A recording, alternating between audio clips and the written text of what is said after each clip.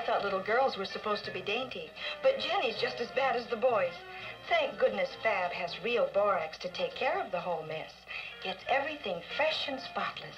A clean you really can get close to. It's a new kind of clean you want to get close to.